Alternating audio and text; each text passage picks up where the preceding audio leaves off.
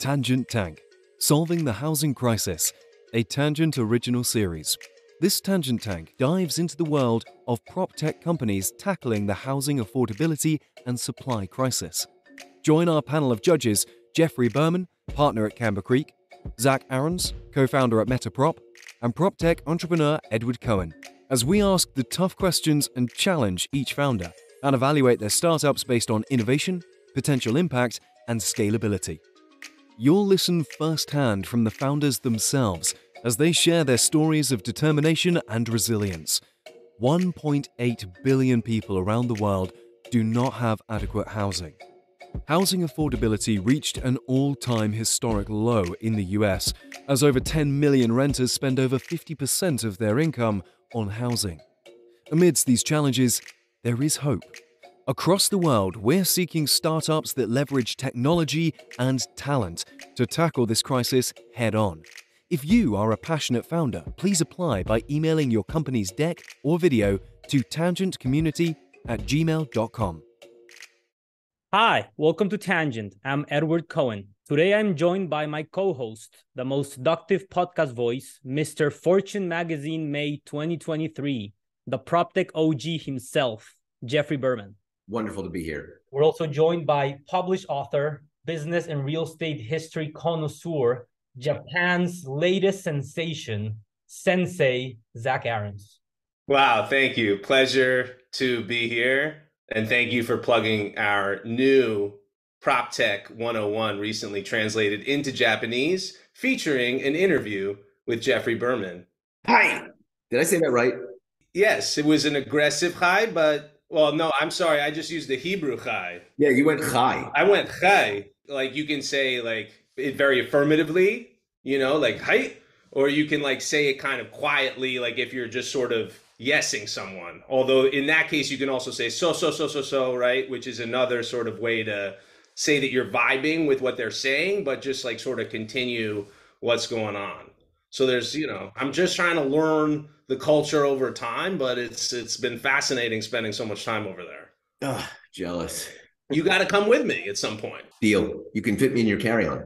Well, no, you can purchase a ticket. You're a big time venture capitalist. We can even sit next to each other and share, you know, snacks and and film selections. Can you imagine the the, the air hostesses walking by and saying, "Wait, are you guys twins?" Yeah, are you brother? Yeah, is this a tw- is this a twin trip to Tokyo today? Like, no, it's it's strictly business, ma'am. Anyway, sorry. I guess we went on a tangent there. Early tangent, guys. Let's get serious because today on Tangent Tank we have Tim Swanson, President and CEO of Inherent L3C, transforming lives, communities, and generations through home ownership. Hi, Tim. Hey, Edward. Oh, it's great to be a part of this conversation. I appreciate y'all.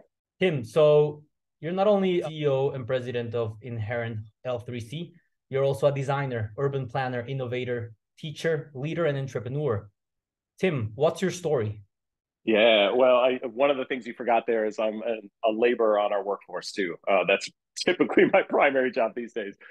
Guys, a lot of this is really just looking at what happened to the American dream and what's a 21st century version of it. Uh, the reality of a working class not being able to afford a home or plan for a family or another generation. And so we said, why not try to eat the whole elephant at once and look at redeveloping our cities through housing, through job creation, and, and getting people into stabilized, secure housing. Uh, and you know why not do it in chicago? Because it's probably one of the hardest cities in the world from zoning and buildings and and and and it's also a city that has 2000 vacant acres of land uh, prime for families to live on. So uh, that's what we're up to and that's what we're having fun with. Fascinating. So you're addressing the supply side issues here of the housing crisis uh, starting with chicago.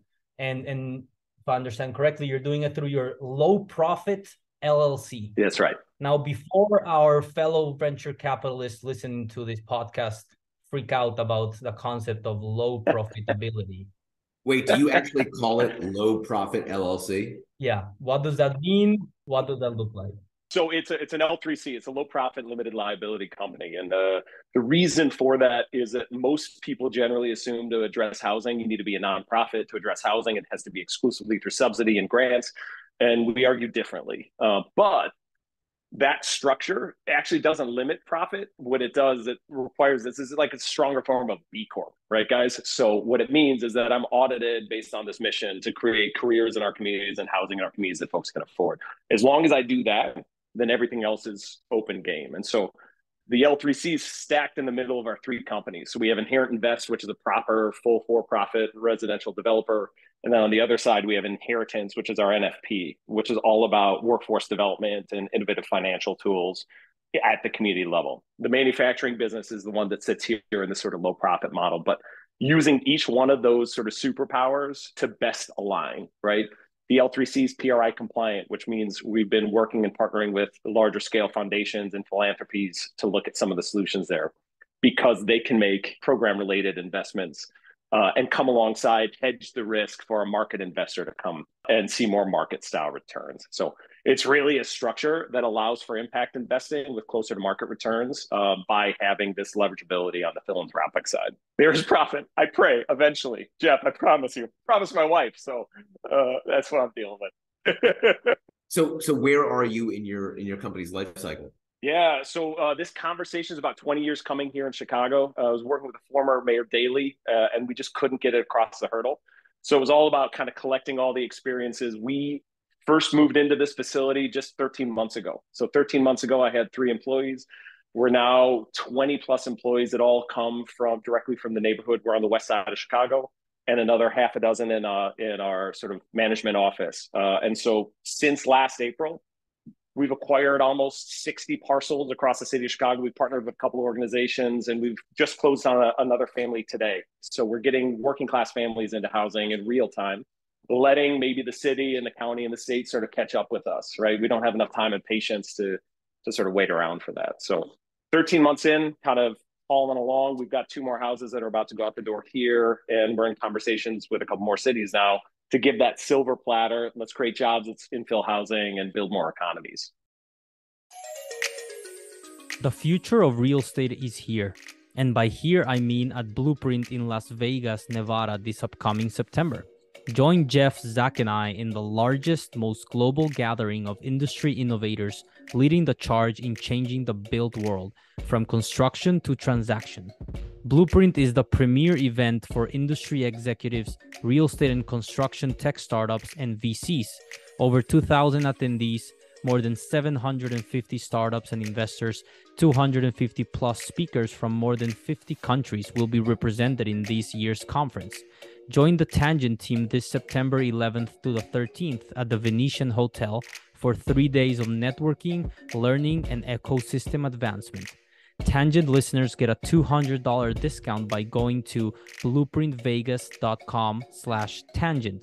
That's blueprintvegas.com slash tangent to get a $200 discount for this year's event. Hope to see y'all there.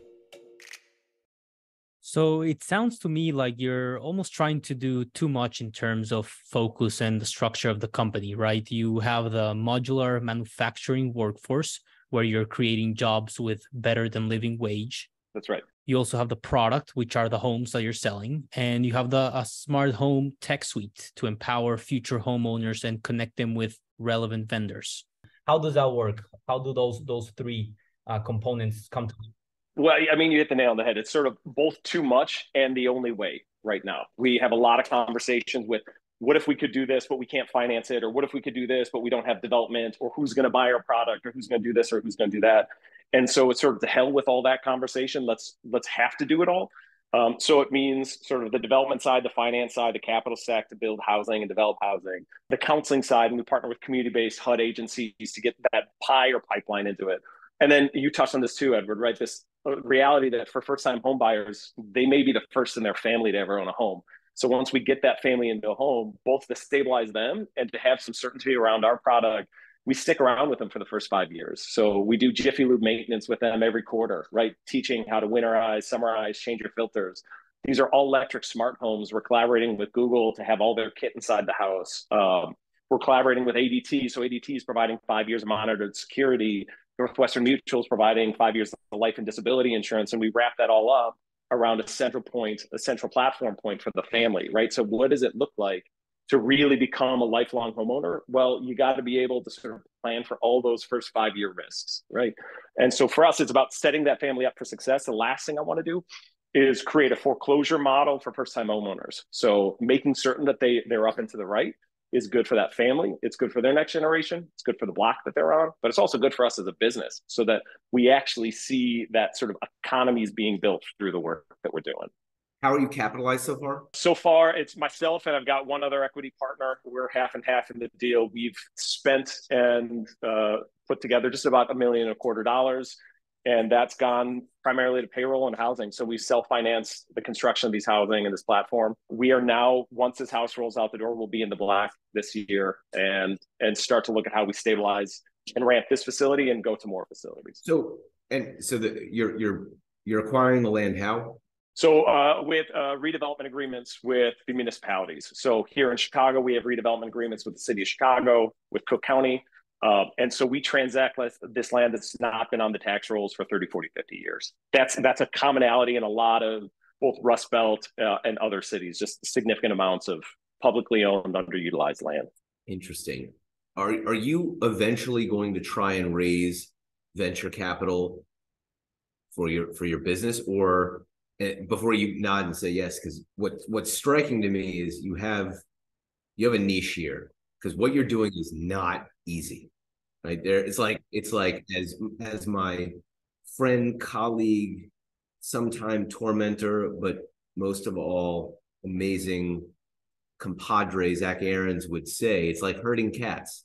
I've actually never heard him say herding cats. I've never heard him but it, it is but you could he, you could actually see him saying that sounds like herding cats I actually got allergy tested the other day. I'm def- desperately, deathly allergic to cats, so you wouldn't see me hurting them. You would never see me hurting cats. my Zach. My Zach Aarons is fire. Anyway, yeah. it's as good as your random German prop tech entrepreneur. I think so.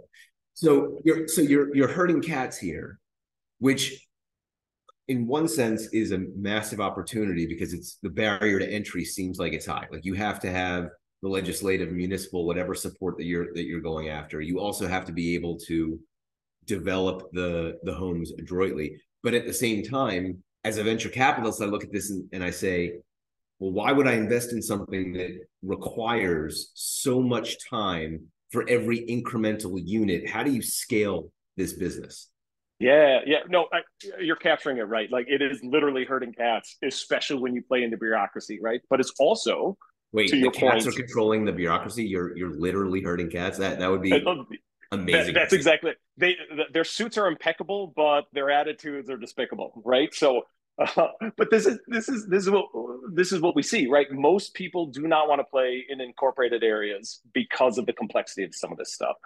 Modular manufacturing for us is important, but it's almost more important to create a workforce that has a guaranteed steady job, right? So when we think about the scale, it's not necessarily how do I build the biggest factory possible, but actually how do I build a program that is that sort of silver platter easy button for a city to say, all right, you guys want housing, you want jobs, you want stability, you want all those sorts of things. We put together capital stacks uh, for the business, we put together capital stacks for the buyer, and we put together a workforce platform that actually builds the jobs in your neighborhoods. And so, hold on a second. Is the idea that it's like I get to build my own home, or I get to work in a plant that manufactures cross laminated timber that ultimately gets used in the home that I live in, and because of that, I'm guaranteed to have a job, and then because of that, I can get a mortgage, and then because of that, I can get into one of your homes, and then it all financially works from a, on a company level for the low profit LLC, and then on the real estate level as well, getting outsized returns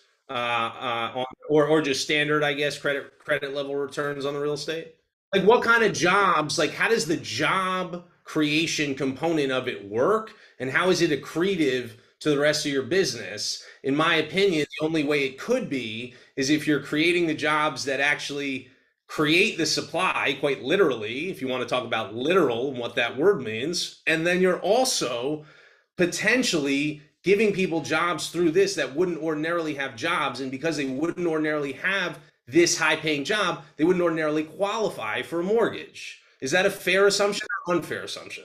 No, it's a hundred, a hundred percent uh, fair assumption, right? It's So can you walk us through one of the examples of how this will? Because I this is this is fundamentally, you know, J- Jeff sees everything, you know, so he's he's super innovative and new, and so like he might have seen this model before, but I've never seen this model before. I've never actually seen a accretive, um, virtuous cycle model where you take workforce housing and you're actually putting the working people into the housing in this way. So, am, is this a figment of my imagination and a, and a pipe dream for me on the phone with you right now, or is this the reality of what your business is today? This is the reality, Aaron, of what our business is today. So, walk us through the sort of concrete example of that. You know, you don't have to disclose the confidential information of your your homeowners but but use an avatar of a persona so that our listeners can have a better idea of how all three legs of the stool are symbiotic and therefore add up to five let's say instead of three.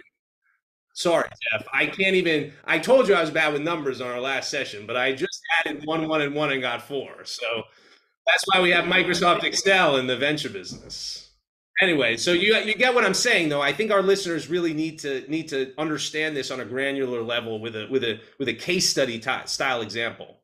100. percent And and to frame that conversation here, right? Think about.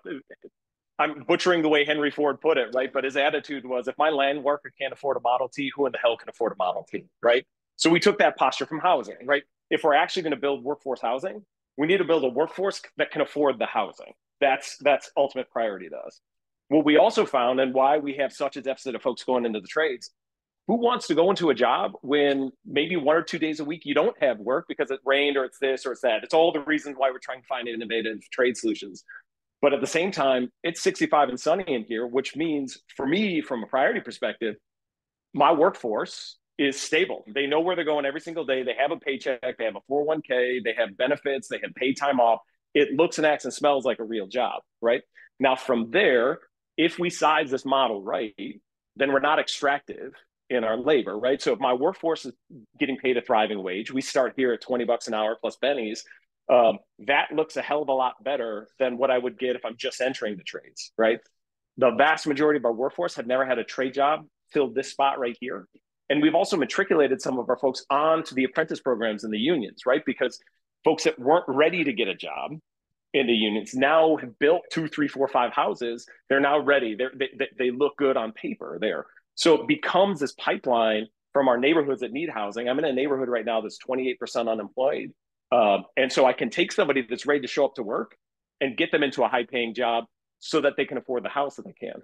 Well, if I do that math, right, our first two families that we just closed with, uh, these families are making that sort of average income for the city of Chicago, that working class income they now own their home. We've got some of our folks that are now going through a HUD counseling agency so they can buy maybe not the home I'm standing in today, but the home that'll be here six months from now.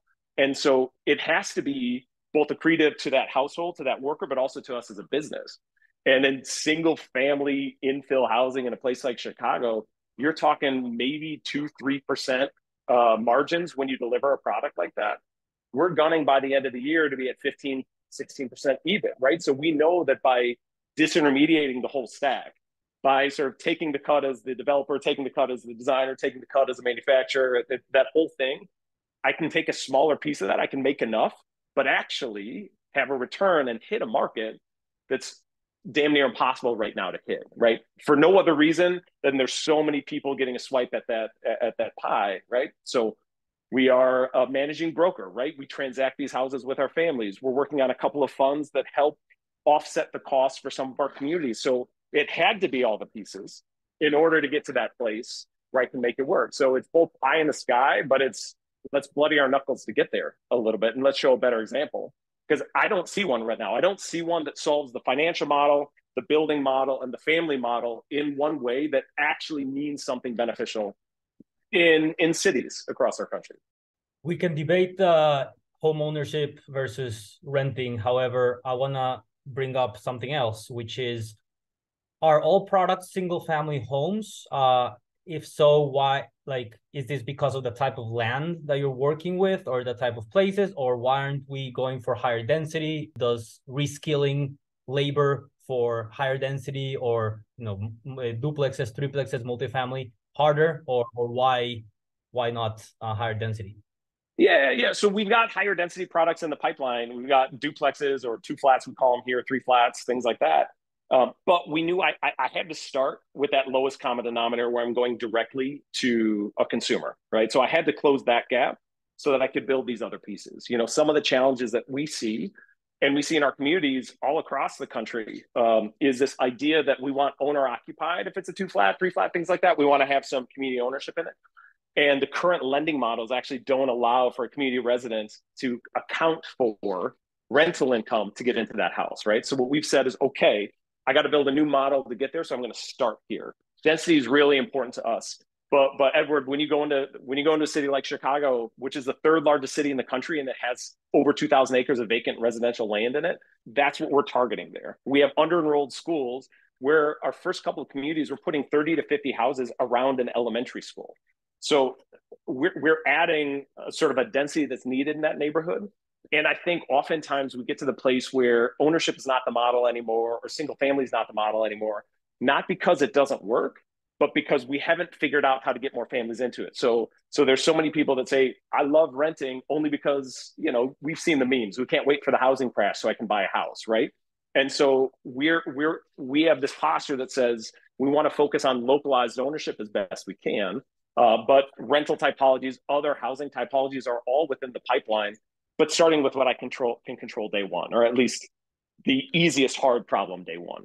I would honestly, I would like him to team up with a previous guest of ours, Daniel Dorfman, who's now selling his REIT model in a box, and effectively your customers can have their cake and eat it too. You don't have to build your own REIT structure, which is complex and hard. You can take this guy's software and his model, he's now selling it to other developers, and you can offer your customers instead of ownership in just their own home. You can offer the other people who work on the assembly line who may be younger, not have kids yet, and want to rent from a lifestyle perspective. You can actually, instead of having them as renters who piss the money away, you can effectively have them put their money into this REIT and it's a community level REIT. And so you own property and you're responsible for that property, but it's not necessarily your single family home. And so it what we loved about that model um, when he was on our podcast, um, I'm sure you've listened to every single tangent podcast like three or four times. Um, but um, what we loved about that was was was that it enabled this level of flexibility because frankly, in our opinion, you know, homeownership is is is not right for a lot of people um, from a lifestyle perspective and even from a financial perspective, uh, depending on how long they plan to own the home for and where a bunch of different factors, where mortgage rates are, what geo they're buying in, etc. Um, so anyway, I think we can we can make you know what Mr. Berman would call a uh, a tangent shidduch, yeah, um, and you know we'll we'll we'll take care of that offline. Well, I, I, love that you brought that up, Aaron, because that, that's where my head went when I listened to that that podcast. What we've thought about is for a lot of people, wait, ownership wait, in my wait, box. Wait, wait, wait, wait, wait, wait. Did you just call Zach Aaron? I'm used to oh, it, It's my oh, last did. name. I it's my did. business partner's name. I forgot I, to say Mister ahead of it. I'm sorry. That's that's right. Sir, is that what it look, is? Look, Mr. Aaron. Look, Mr. Aarons was my father. You can call me Professor Aaron. That's exactly right. There we go. That's By the way, right. I was. That's what I was going to say. Sorry. What? That you can call him Professor? Yeah. Jeff, it's not a coincidence that we're related. no, it's not. Well, no, I, I think it is a coincidence. It is a coincidence. Yeah. anyway, Tim, keep going. No, no, I love this, right? No, this is exactly it, right? The point is building equity for an individual, whether or not they own the box they're in uh, outright or they own sort of an entity, they're part of an entity that owns that box. We're all about whatever typology makes sense to get more working class folks into some form of equity creation, into some form of paying their future self that's what that at the end of the day that's what we're focused on whether it is sort of a single family house that you own or whether it is part of a larger structure. I'm down for either. I just want to see more equity on the block. And it seems to me that this is not again zach tell me if you disagree but this does not seem like the type of model that is necessary necessarily appropriate for venture capital. It doesn't need venture capital to uh to expand yeah, I think the job training and manufacturing component of it is potentially scalable if you're manufacturing the right product and you can grow it big enough because those those businesses you got to get grow really really big to get private equity or a strategic interested in in an exit. So we debate internally all the time whether we should be funding sort of next gen manufacturing businesses as part of our practice right but is that it would you consider next gen manufacturing to be ve- from a venture scale point of view? I mean again like private equity scale and venture scale defining different things. Yeah i would yeah i would say we i think if you get in early enough at the right price yes. I think otherwise probably not. And then i think for the other elements of your business it's it's definitely more like patient family office type capital to stand up the the operating entity. I don't think you need a ton of money. And then you know you can see over time which piece of the manufacturing is actually clicking from a scalability perspective. And then you know the other the other opportunity i don't want you to do this because one of my favorite companies in our portfolio is is in this space and and jeff doesn't know it yet but he's going to lead their next round. We have a company called Skillit and they pr- created software that that helps with not only the the recruiting and sort of valuing of a of a of a, of a tradesperson but also the training itself. So if you think about if you think about the labor shortage in the skilled trades right? And even though we're seeing softening labor market we're still seeing labor growth in skilled trades and that's going to continue especially with all this government spending chips act et cetera. And everybody's starved for labor um, especially in some of these rural areas where they're building these massive data centers, semiconductor fabs, and there just aren't any people to put down the, the rebar or whatever, you know, to, to pour the concrete, et cetera. So, so effectively, we at Metaprop think about tackling that problem from from two different vantage points and then seeing those vantage points converge over the ensuing decades. One is taking the old model, which is the apprentice model of training, which doesn't really work anymore, as we can see, and then scaling it somehow through software. And that's effectively what Skillit is doing. They're saying we're going to recruit, we're going to train, we're going to make that much more efficient. Um, and then the other uh, thing we're investing in uh, uh, is robotics, right? And it's like we're still a long way from a robot building a building, but we've come a long way just since we've started the firm in what a robot can do on a construction site. A robot can lay drywall, a robot can make measurements, a robot can paint um, tilt walls. They can do a lot of things that they could not do um, even five years ago on the job site. So, um, long story short, anything that can help solve the labor issues and is scalable is theoretically venture backable. But if I were advising you right now, I would certainly other than me and Jeff on this podcast, I, I certainly wouldn't want you spending your time uh, uh, doing what we call the Sandhill Road Shuffle. You know, sort of meeting people to to meet people who might be capital partners in the future because they may not understand what you're doing at a granular level, and and it might be just sort of you know it might not be sort of scalable enough uh, uh, uh to pique their their their interest effectively. Well, it, that's exactly right, uh, Professor. And it is it's the FO, right? Like so, it's it's patient family offices that give a damn about whatever city they happen to be in, right? That's the types of conversations that make a lot of sense for something like this because while there's value in return, it's that sort of larger existential value in return that a that a region needs to solve this sort of big, hairy housing, um, labor, humanity crisis that we deal with on a daily basis. If you ask me, this is an absolute political gift for any politician with a vision that wants to really have an impact, that wants to have bold change in their community. I mean, you are not only creating jobs, but those jobs are you're reskilling, rehabilitating people who did time, delivering housing to house people so they can own it. I mean, we're, we're like just align yourself with these uh, election cycles and uh, you know the politician that wants to win uh, might have to work with inherent L3C. Well, it, it, that's it, right? So whether it's here in Chicago or some of our work nationally with HUD, it's about y'all have a disconnect, whether you're at the city, state, or federal level. With you say you want something, you fund it. You, you mentioned chips and others, right?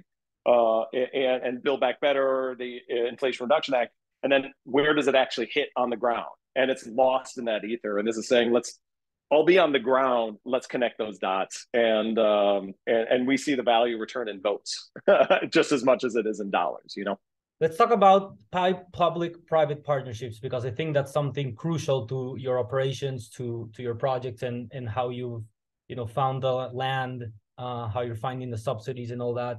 And I I do think, especially in today's world where some cities may have too many captains for the same boat and you know paralysis and ingovernability are the norm. What incentives have you been able to align with public sector that has proven to be successful that we could pro- like look to replicate in other places? I, I would say we've had very much an attitude of we're going to go ahead and you guys can catch up with us and we've seen that right? So here locally we've restructured how some of the city subsidy programs for the buyer side actually works, right? So so that we can get more dollars into a family's pocket. We've started looking at alternative sort of groundworks through TIF and bond issuances, right? These types of tools that carry a lot of value and a lot of salt, but don't always get used to deliver a product. And so where I think I find myself right now is that train is catching back up with us, right? They've slowly built momentum and now we're going from can we do one at a time or two at a time or this neighborhood or that neighborhood to how many neighborhoods can you deploy this in, right? It has been that piece, and we are now in a new election cycle, right? Or we're past a new election cycle, at least here with a new mayor and uh, Mayor Johnson, who is both progressive and needs and wants to see progress in a city. And so that's what this tool is all about: is let's keep on going. These old models, uh, Chicago, I sit in a city with 2.8 billion dollars pledged in what's called Invest Southwest for very high design, um, uh, low income housing, rental housing. And I think that's fine, right? But those residents have no path to equity, no path out of that housing solution. So we're coming alongside and saying the private side, through this sort of slightly more complex but innovative model, can actually get somebody who is maybe stuck at the peak of a public housing price point and get them into the next piece, right? So we can keep moving a whole generation up that's where it's attractive. That's where we've seen the most uh, hay being made uh, on the public side. And that's a conversation that we start to have, to your point, with other cities. This idea that you just need to unlock it and you don't know how to. So let us let us come alongside, right? You know, it's a win for you. It's a win for us. Um, but most importantly, it's a virtuous economy that exists in a neighborhood that so desperately needed that.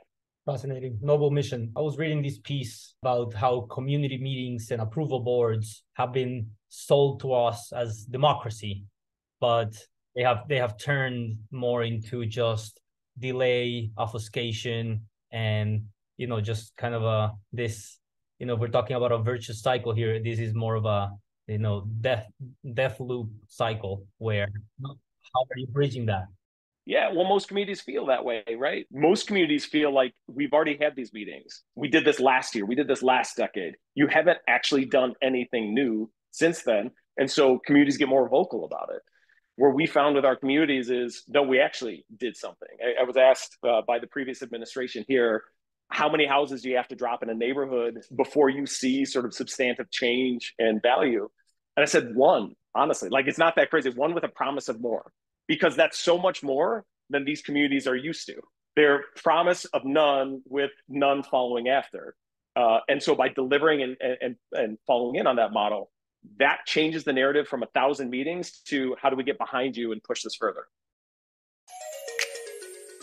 Nothing in life is more important than the ability to communicate effectively. The single biggest problem in communication, though, is the illusion that it has taken place.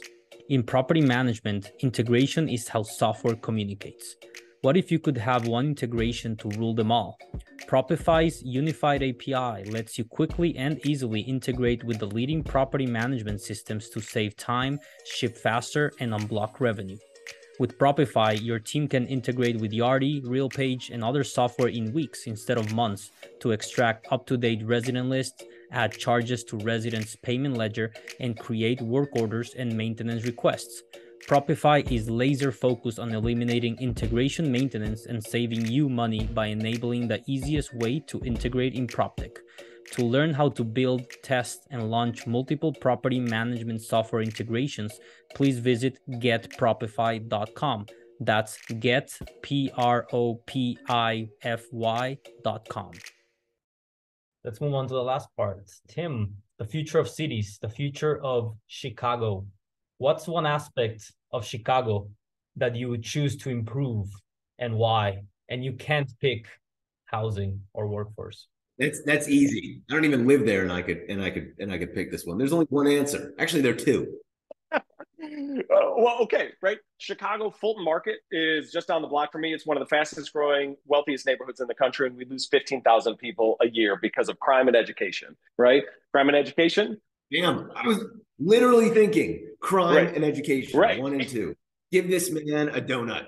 Thank you. I like donuts. Uh, and, and it's those two things, guys. It, and, and sorry, I'm going to break your rules because you just told me not to say this, but if I've got a neighborhood that's 60 to 80% dirt, right? And then I've got a school that's 20 to 30% enrolled, how in the hell am I going to get enough people in that school to have a valuable education, right? So they go hand in hand. The 15,000 net loss that we see as a city every year is not from people getting that next job in the loop or the West Loop or sort of in, in a high income area. It's folks that are like, so you're telling me I can't even afford to live and the school's not that good, my neighborhood's dangerous, and I, I've got a working class job. I'm out. I'm going somewhere else where I don't have to deal with that stuff. And it, it's interesting. The the past few guests we've had, New York, San Francisco, Chicago. It's the politics, stupid. It's it's like this is this is not rocket science here. Like you look at the policies that are in place and the politicians that are leading them, and the the, the there's no common sense. And it appeal it's appealing to the lowest common denominator. And this is not a Republican or Democrat problem although the, these municipalities tend to be run by Democrats. But I think that just happens to be where we are today. You can look at both sides and say, "Wow, Mensa candidate? I don't think so." It is staggering when you when you look at business people. Like you're doing something that everyone here, I can, I think I can speak for all of us. We're rooting for you because what you're what you're doing could have a demonstrable effect on both a critical issue that we're facing as a nation and also like on the ground something that's just good. It feels good. And you have, I would imagine that you have politicians that are probably more eager to say no because no one gets fired for saying no. And what that ends up happening is you you continue this downward spiral of crime and poor education and lost opportunity when you talk about that acreage that's available. It's uh it's just a gosh darn shame, as they say in Nebraska. And it's it's it's as obvious as humanly possible. You hit the nail on the head, right? We sit in so many places like, gosh, I wish we could have some more jobs. Wouldn't it be great if people could live someplace? Oh, and we got land. Can't think of anything that solves that problem. Let's put a new policy in place that, and we talk about this all the time. We want more affordability, more access, but 20% of zero is still zero. 30% of zero is still zero, right? If we're not actually, if we paint a stick to look like a carrot is not incentivizing you, right? It's just having a slightly different look on the stick that we beat you with, right? So there is this logic that we need to change a little bit, and and it's it's the politics. That's it. So that's how we would improve everything. Change the politicians. AI politicians. Whoa. Whoa. Don't we do the who who who's his dream investor dream meeting section? Isn't that supposed to happen? We do, but uh, honestly, the last two answers have been too serious and not funny. Like we want funny answers. People are like so so like focused in the zone. Like I want answers like you know I want to partner with Joan of Arc because she would like be a trailblazer. By the way, partying with Joan of Arc. That that Partnering, partnering. I wouldn't party. oh with her. partnering. I think he said partying. I was like, what? The the last question is supposed to be if you could yeah, if you could like work with in your business any historical figure, who would it be and why? And people were like, well, Sam Zell. It's like obviously Sam Zell like thank you, you know, like i- i- like Mensa we talk about Mensa here. Come on. So like we want you to draw deep into the history books here and come up with someone interesting. That's not obvious. and we'll judge you based on your answer. Yes, of course, we'll judge you. No, I get it, right? Well, here's the thing, and I'm going to answer it the way Robert Reich answered it when somebody asked, "Hey, what what country should America be like if we're not getting it right?" And he's like, "Real easy, 1950s America." Stupid, right? Because in the 1930s, 40s, and 50s, we actually incentivized investing in our communities. Do you know what I mean? That's horrible. First of all, do you know that dude is a is a horrific NIMBY and he actually voted against development in his own community in Berkeley, California? That dude is literally the biggest hypocrite in the world. So A, you quoted him, and B, the idea of nostalgia for the housing in 1950s America when we were redlining all over the place is ridiculous. And this dude, this this dude should know that because he wasn't he like he was he's been doing this for decades. No, he's he's gonna say Christopher Columbus, like somebody not problematic like that. You know what? Some great policy ideas. Genghis Khan. He was on to something, you know. He was great at housing creation. All right, you have another you have another chance, Tim. Let's let's go. So first of all, I'm not saying that Robert had the best ideas because what he got wrong, to your point, is 1950s America was great if you're a white male, right? And sucked if you weren't, right? So that is the fallacy when we look at that nostalgia, right? We, we're like, oh, wow, it used to be good back in the day. You're like, yeah, for you, it was great back in the day. For everybody else, it kind of sucked, right? Uh, but what you did see at that time was the active energy of the US government saying we should do the right thing by our city. So it's not any one person because I don't think anybody can hold that mantle. We should make this great for white people only. Yeah, not great. Not great. Yeah, that's exactly right. That's exactly right. Um, and so that that's where I go to with that answer, right? Is that we were like five percent of the way of getting it right, and then we closed the door behind us and didn't let anybody else into the equation, right? So to go into the 21st century, there's some notes that you have to take, but there are both sides of the ledger. There's the notes that you have to take about how we actually incentivize development, investments, and opportunities in education, infrastructure, workforce, and also, holy crap, we got a lot of that wrong, and we have to pivot going forward that's where we're lost right now. We have this assumption going into the 21st century that if you didn't bootstrap some way, somehow, then you didn't do it.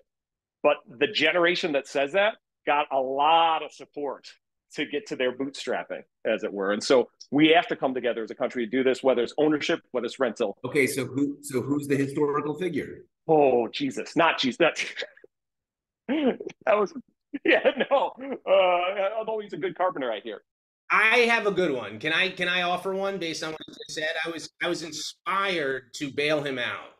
So I agree with him. I think you know, and and all of our I'm not going to name any of the names of these clowns on Sand Hill Road, but American dynamism is the new you know topic du jour right in our industry. I want to be funding American dynamism, whatever the the heck that means. So I'm going to give you somebody who actually practiced American dynamism back in the day. I hope this person is dead because I know I asked. Oh no, he's still alive, but I'm going to give you him. His name, are you familiar with a guy named Vinton Cerf? Ooh, yes. But he's not dead. He's not dead, but this was a dude who who clearly like was involved with the government in the creation of DARPA and ARPANET. And this was an example of the US government. That's why they call it, by the way, that's why they call it surfing the web. That would be so awesome if that were true. I don't think it's true, but I, I just made that up. It's not true, but like you heard it here like, first. Yeah, it's it is true now. Yeah. So like that was an era, to your point, when America was sort of leading the world in terms of innovation, and and and you would like to sort of replicate that in a more equitable way. That's all, right? It's we sometimes think now that we're leading the world in innovation, especially in some of these subjects, but we still have some of the old rules in place. So there's nations that can leapfrog past where we're getting stuck right now. And my hunch is we can get back to something a little bit better. Just like the whole agenda around DARPA and that season of our country when there was exceptionalism tied with proactivity, right? And we sometimes disassociate those now. Ooh, that's good. That's exactly it. Because without that, then I just think I'm the greatest guy in the world and I'm going to go sit back and tell everybody I am without actually doing anything. So I just I just looked up Vinton Cerf and today happens to be his 80th birthday. So happy 80th birthday to a very influential figure in our industry, one of the creators of DARPA and ARPANET. My grandfather, Jules Aarons, who as I'm sure you've been to his website many times, was a space scientist and a street portrait photographer and he used ARPANET back in the day in the 70s to communicate with other astrophysicists in places like Sweden on the Arctic Circle and in Israel and Italy. Um, and so I remember in the early 80s when I was really little, him telling me about ARPANET. And I was just like, what is this guy No, I like that as an example. I, I, I appreciate the phone a friend opportunity there. Thank you, Professor. No problem. I'm always available. Tim Swanson, CEO and President of Inherent L3C. Tim, where can our listeners find you and learn more about Inherent L3C? Yeah, uh, you can check us out at inherenthomes.com. Uh, and uh, we are Snapchatting every day. It's one of my favorite things. I don't know, somebody on my team, I think, is, uh, or TikTok gang, or until that's shut down by the government, I don't know. So, uh, but just hit the website. It's the fastest way to get us there. It's already been banned in Montana. I had to drive over to Iowa to download it, and then I drove back into Montana. Which is the weird thing. You no, no, he left New York. He's like, I got to see what this band is about. Yeah. Went to Montana. Went to Montana, documented myself not downloading it. Obviously, bought carbon offset offsets because that's what this Yeah, man is. it- and then, No, well, I used I, I I drove a Rivian the whole way. really? No, come on. I don't. I wish I had a Rivian. One of our founders has one. It's so cool. Uh, we got. We should talk about how much money that guy's making. Thank you so much for coming on today. Um, please go visit Inherent L3C, inherenthomes.com. Tim, thank you so much for being a good sport and coming to pitch and being brave and presenting your bold vision to Tangent. Thanks for tuning in to Tangent Tank, solving the housing crisis.